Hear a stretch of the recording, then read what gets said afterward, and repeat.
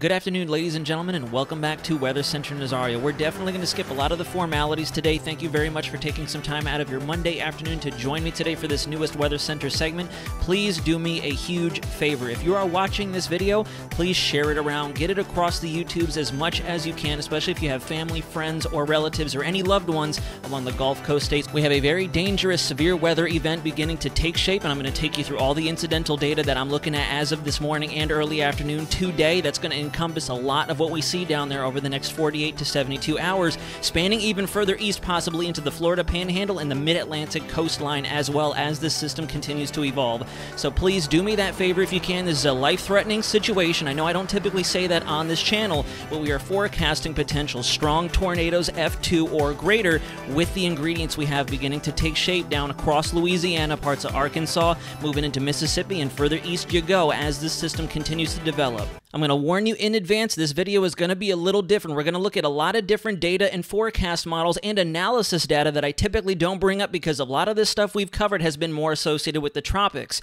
And we are going to start on NHC's homepage just to kind of dispel what may be circulating the weather sphere across social media this afternoon. We're going to begin on National Hurricane Center's homepage, and we're only going to spend maybe a minute or two at best talking tropics because in all reality, there's nothing I'm really concerned about in the immediate future, and I don't anticipate we're going to have have anything form, especially in our more sensitive areas like the Caribbean Sea for that matter. This area highlighted in orange now at a 40% chance of development over the next seven days is something we were discussing and kind of toying around with the idea of seeing a low level spin break away from that trough axis that helped to develop that almost intercontinental looking storm that brought tremendous amounts of rainfall to Jamaica, Hispaniola, parts of the Turks and Caicos Islands, the Bahamas, and affected portions of Bermuda for that matter as well. We are starting to look at that low level circulation beginning to break away and move off to the east. Formation probabilities are looking pretty good with this, and I do think we're going to get a subtropical cyclone out of it. This could steal the name of a subtropical storm Vince. I do think this definitely has the potential to do so. It could possibly be a weather player for our Azores up there in the North Atlantic, Northeast Atlantic for that matter, but it's really going to pose no harm or threat to anybody, even Bermuda, as it continues to work itself away from that general area before deepening down and possibly taking on a subtropical storm status. This area down here, Invest 99L, I'm a little perplexed as to why National Hurricane Center has designated this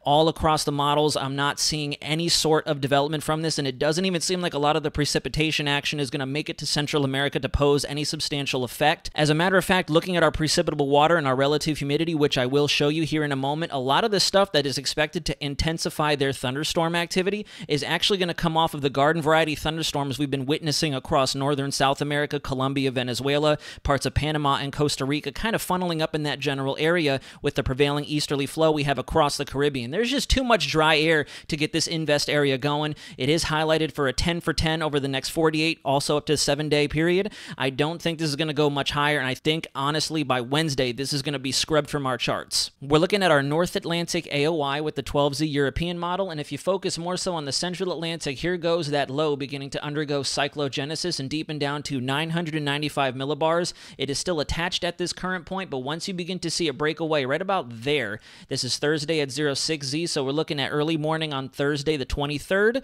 Thanksgiving Day. This looks like that low will finally be its own individual entity. It'll kind of hang out out there in between steering currents, and then once it finally begins to develop and deepen down, this is when it could take on tropical, or I should say subtropical storm intensity, deepening to a 996, 993, and continuing to deepen down as it passes just potentially to the west of our Azores Islands up there, and then finally once again getting entrenched by the polar front jet activity running running across the North Atlantic, supporting these areas of high pressure in between. So, all in all, that is one of the areas I do think we could see some subtropical cyclone development. It's not going to pose any credible threat to a lot of locations. We could see some increased winds, wave action, and rainfall activity with the Azores Islands up there as it makes a close pass. But all in all, guys, nothing to really be concerned about. And then if you look down over the Caribbean, you can kind of see a little bubble of low pressure down there and some moisture associated with it right about in through here. If you can see where my cursor is drawing a small circle. And if you go to the 48 hour mark, mark, notice how it's already very elongated, and then at 72 hours, it's almost unrecognizable, kind of butting up against the coastline. But when we go to our relative humidity product, you can see a lot of that action is actually associated with what's occurring in the eastern Pacific monsoonal trough. A lot of the activity associated with what's been going on in Panama, parts of Colombia, Venezuela, trickling off to the west because of that prevailing easterly flow we have over the Caribbean. We're going to look at our zero Z probabilities very briefly, and if you look as we go through the loop, we very quickly lose probabilities in the Caribbean, and the probabilities actually actually go up with that system, as I showed you on the 12Z MSLP Euro product. As it begins to transition off to the north and east, it does seem like it has the capability to go fully subtropical before reattaching itself to the jet to the north, and that's when you start to see those probabilities really wash out. General thinking right now is it's going to pass to the west of our Azores. So if you are viewing this video from the Azores Islands, it doesn't seem like this is going to be a very, very substantial threat for you guys. But of course, we'll continue to monitor, especially if this does manage to steal home base and take on the name of Vince, an ever anticipated name for over the last month and a half, it feels like now. So here we go. This is our 12Z GFS relative humidity product. And as you see down there, there is a little bit of sliver of relative humidity or moisture associated with that invest area. But you can see it's sandwiched between very, very dense dry air. There's a mid level cyclone or an anticyclone parked over the Western Caribbean, helping to funnel a lot of that very, very potent dry air down across the Eastern Caribbean. And you can see, guys, as you go over the next couple days, this is tomorrow night going into Wednesday morning, it's essentially going to have the life squeezed entirely out of it. This is going to be your invest area right there, kind of already getting suffocated by a lot of this very, very pungent dry air that's wrapped around a lot of its north and eastern side. A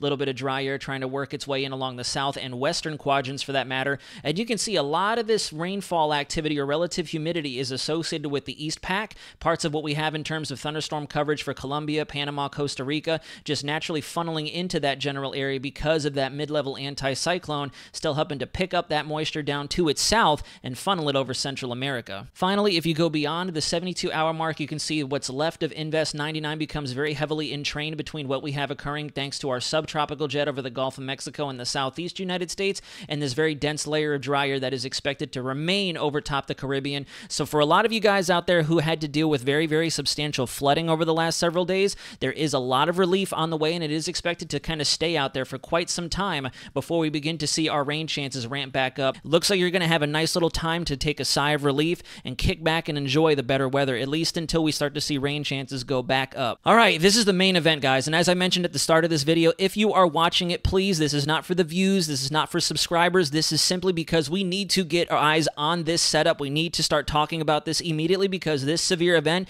this outbreak is imminent and is already starting to take shape on satellite and radar. You can see we still have an enhanced threat across the southeast, particularly across Louisiana, very easternmost extent of Texas, Mississippi, to where we can not only see widespread severe weather phenomena to include strong convective winds 50 knots or greater, hail upwards of one inch, if not much greater than that, with these systems as they begin to develop. We're expecting very, very heavily sheared, tilted, and strong updraft cores with a lot of these individual cells, so a large hail threat is expected. And of course, because of the dynamics we have in play, which I'll take you through here momentarily, SPC do thinks we could have isolated bouts of F2 tornadoes ranging all the way up to potential F5s. And the only reason they have that highlighted is not because they're predicting F2, F3, F4, F5, is more so because we're seeing very, very similar environmental parameters coming together with where we do have our very, very strong supercellular storms out associated in western Texas with the dry line or over the Great Plains Tornado Alley, where you do get a lot of those very strong, almost wedge style tornadoes. So the same parameters are coming together,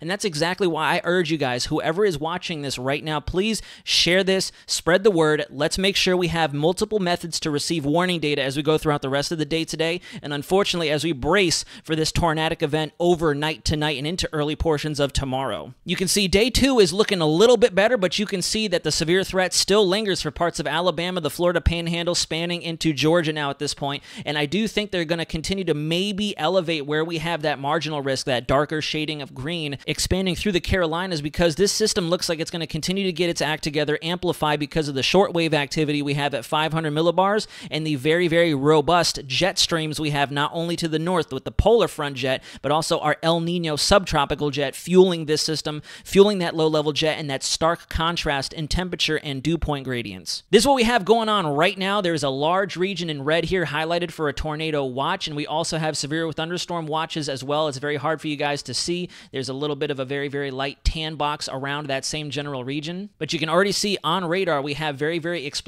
thunderstorms already starting to take shape, and a lot of these very individual cells are going to take full advantage of the directional and vertical wind shear we have throughout the atmosphere. You'll see it very easily on the satellite when we get to that point, but I'll also show you some analysis charts that further support how much of an unstable overall just atmosphere we have to fuel just about every single severe weather phenomenon you could get out of a setup like this. Now, as I mentioned at the start of this video, we're going to look at a few things that I don't really pull up on this channel, but I want to try to educate you guys as best as I can to the best of my ability variability without overloading you, if that makes sense. This is going to be our 850 millibar analysis chart. The key takeaways I need you guys to pull from this is if you look, we have our wind barbs right in through here. This is at 12 Zulu earlier this morning. We have already 25 to 35 knot winds coming out of the south. This indicates that low level jet, that good push of southerly moisture and southerly warm air to help amplify our relative humidity and our dew points and overall increase our buoyancy down at the surface to enhance these thunderstorms as they get going.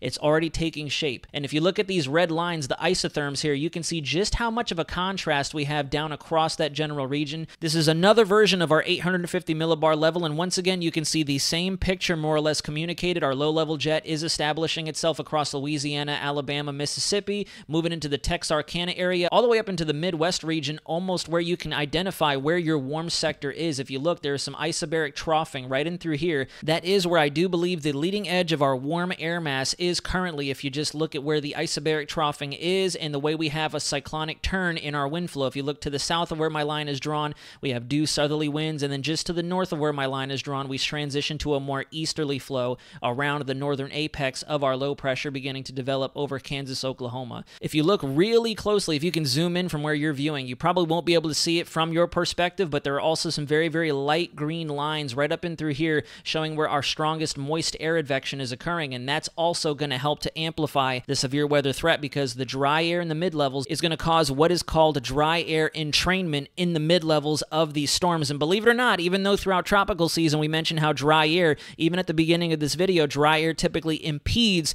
tropical cyclone formation, dry air in the mid to upper levels of the atmosphere can actually help to enhance the severe weather threat with these storms in way of having more dense air for these updrafts to fuel on, to feed off of, and to amplify what kind of hail and convective winds we get whenever they decide to rain themselves out. Very sciencey, but that's the main reason I wanted to discuss why dry air actually helps thunderstorms in comparison to all of us mentioning dry air hurting our tropical cyclones. HRRR simulated reflectivity is looking very alarming. As you go through the first couple of hours, you can already see it is verifying very well with what we saw on our live radar feed. And as you take this through the next six hours, we're expecting very, very strong individual cells to develop within this line of rainfall and shower activity. If you look very closely, once again, it's probably not going to be visible from your area, but a lot of these storms are taking on what look to be a teardrop shape. And the reason that they're taking on that teardrop shape, kind of like this, that's an indication that at the surface, all the way up to where the tops of these thunderstorms are associated or where they kind of bottom out, if you will, in the uppermost portions of the troposphere, that is because all of that rotational directional shear I'd mentioned to you. So at the surface, that storm is rotating and turning upwards and upwards like this. And that's exactly why we have the tornado parameters coming together, like we've noticed, the hail parameters, the strong winds, and you can best believe we're going to see very frequent cloud to ground lightning with this. So be very careful and again, stay in place. Do not go outside during this event. This is a very dangerous situation. You're going to want to have a radar tool near you. If possible, use your mobile device. Keep your mobile device charged. Make sure you have it ready and readily available on loud. Do not have do not disturb on. I'm guilty of that as well. You do not want do not disturb on during this event. You want every way possible to receive National Weather Service updates and warnings for your local area. You continue through this loop and you can see that line really does not give up. And in fact, as we go into the day tomorrow, we actually see a bit of a resurgence of the severe weather beginning to take shape near Pensacola over Montgomery, Alabama, spanning pretty much all of Alabama into Georgia for that matter, up through Tennessee, starting to hit the western periphery of the Carolinas, and some residual leftover stuff still coming out of the Gulf of Mexico for New Orleans and into lower Biloxi, Mississippi area. On the left hand side, we're going to look at our buoyancy, and on the right hand side, we're going to look at our supercell parameters, because as you can see, we have quite a bit of buoyancy. Basically, what this is, is your convective available potential energy.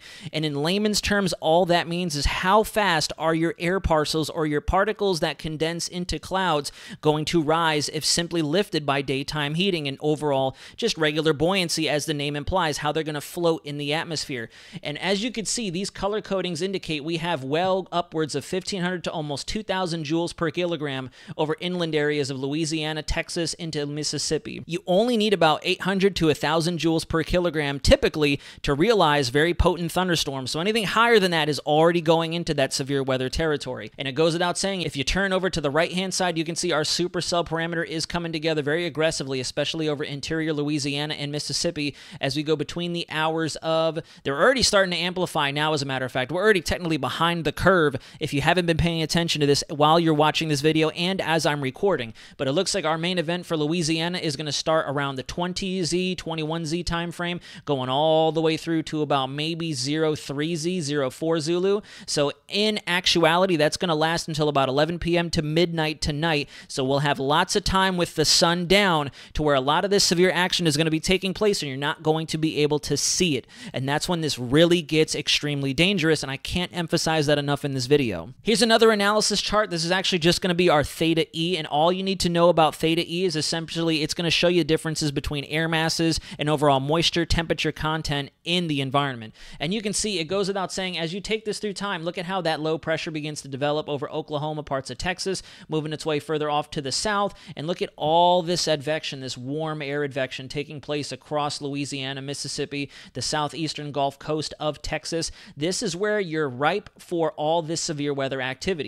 As those drier theta E's come in on the backside of this low, and we have that modified polar air coming in to interact with that warm air, it's going to act like a ramp. It's going to shove that up, kind of like a snow shovel you'd use after heavy snow, like so, and scoop all that moisture up and form those very intense thunderstorms. Finally, last but not least, we are going to close out with the infrared because you can honestly see immediately just by looking at the satellite, regardless of those storms already forming up, you can already get a big picture view of exactly how unstable the environment is. I'll go ahead and pause it for you guys so we can do a little bit of very close level analysis. In the low levels, these gray shades of clouds, you can see the winds rushing up out of the south, but then if you look at these storm clouds themselves, they're rushing off to the east like so. And if you kind of do the math, if you use a little bit of basic geometry, as you ascend the atmosphere from the ground level or the low levels where those gray shades of clouds are, up to where those very, very robust thunderstorm tops are, you can imagine that you're very quickly going to transition from this this to this. I know it might be a little hard to hear me, but this is your directional shear, your vector wind shear that's going to help to get these thunderstorms rotating, producing hail and potentially very, very aggressive tornadoes. We could even see long lasting tornadoes because of the environmental parameters we have here. This isn't going to be a distinct frontal line where they'll spin up and die, kind of very pulse like. These could be a little bit longer lasting. I'm not talking half an hour to an hour, but more than a couple seconds, if not more than a couple of minutes, because there are going to be embedded meso cyclones and individual isolated supercells within these thunderstorms as they form up. We're going to close out the video here, guys. I know this has been very, very informative, very almost fire hose like in all the information that I've given to you. The key takeaway, again, I can't emphasize this enough, is be prepared, be on the lookout, maintain your situational awareness. You will probably lose sleep tonight watching as this situation unfolds, and I honestly encourage that you do not go to bed, especially if you don't have a mobile device or some way to get get in touch and receive those National Weather Service alerts as they come out for your neighborhood. We will be doing live continuous coverage tonight at 8 p.m. We are not going to be doing a tropics talk because I don't feel the need to talk tropics with everything happening over the southeast. We're also going to discuss exactly how this is going to evolve over the next three to five days and talk about how we could be seeing some severe weather almost similar to this, maybe not to this full extent, but very similar to that as El Nino continues to amplify out there over the Pacific, bringing in our chances for severe weather weather all the way up, not only through the Thanksgiving holiday and this weekend, but going forward through the end of November and into December here in Central Florida. Thank you very much for joining me, guys. If you aren't already, please subscribe to this channel, especially if you are brand new and just receiving this as my first segment. I plan to keep you guys fully ahead of this storm as much as I possibly can, as much as I'm physically capable of doing so. Thank you so much for your continued support. We will see you tonight at 8 p.m. for our Weather Center Live segment. We're going to be covering all this, looking at satellite radar, and also digesting exactly what this winter time has in store for us because this is only round one. I can guarantee that to you guys right now. This is only round one, and it is likely going to continue to get more intense as we go through this El Nino winter altogether. But you can guarantee Weather Center Nazario is going to be riding out the storm with you every step of the way. We'll see you later tonight, guys. Until next time, this is Weather Center Nazario signing out.